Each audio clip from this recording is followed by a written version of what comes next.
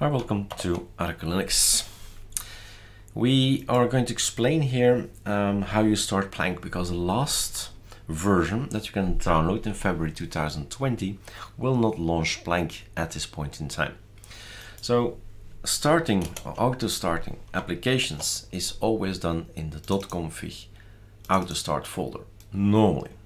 But if you're on a tiling window manager, it's something else. But in a normal desktop, environment, you'll have a .desktop file in here and the system says, oh, whatever is in there, I'm gonna launch.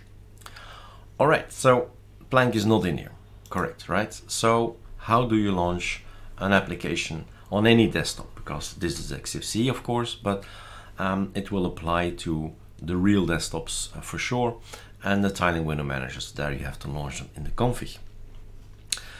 What we do is we go look on the various desktops we have. We have 15 desktops at this point in time.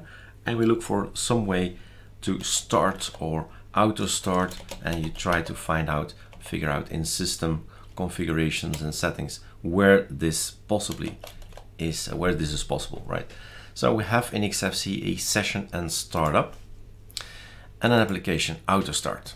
So in here you have a lot of applications that are already present and you see a few of them here. I'll just uh, mute this thing here so we don't see these messages. And we can add more. We can add more. If we say, yes, um, I would like to have Plank here because we've chosen not to have it available on XFC this time in the release. So you are missing it and you can type a command to run it on login like all the others, trigger on login. And what you've seen maybe is that there is something happened, something happened to the right here. Plank desktop is here. All it did, the system, is basically go to the file system, to the user, share, applications. In here are all the apps. If I want to launch Brave, Control C, and I go back and put it in here, it's gonna launch Brave as well.